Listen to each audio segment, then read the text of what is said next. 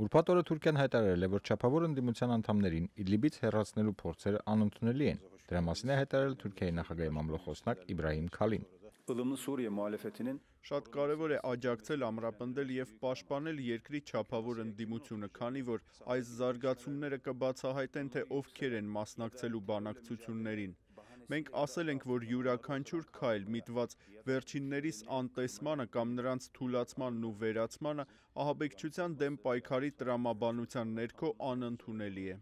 Անկարան համաձայնության է ասել Մոսկվայի հետ. Իդլիբում ապառազմականացված գոտու ստեղծման վերաբերյալ, որի վերահսկողությունը Թուրքիան կիրականացնի Ռուսաստանի հետ միասնաբար։ Իրենց հերթին Միացյալ Նահանգներն ու Թուրքիան գրեթե հասել են համաձայնության Սիրիայի Մանբիջի տարածքում միասնական վերահսկողություն իրականացնելու հարցում։ Ըստ մամլոխոսնակի, շուտով այստեղ կմեկնարկեն միասնական զորավարժություններ եւ անվտանգության ապահովման միասնական գործողություններ։ Սակայն Անկարան շարունակում է մտահոգ լինել քրդական զորամիավորների հետ կապված հարցում։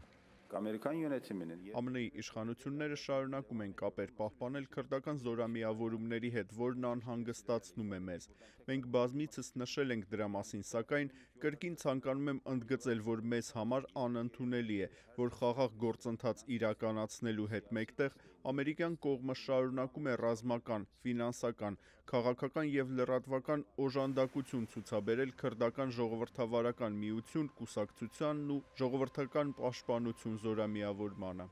Այս հարցի շուրջ տարաձայնությունը թուրք-ամերիկյան հարաբերությունների լարվածության հիմնական պատճառներից մեկն է։ Արամ Ավետիսյան, Ամերիկայի ձայն, Վաշինգտոն։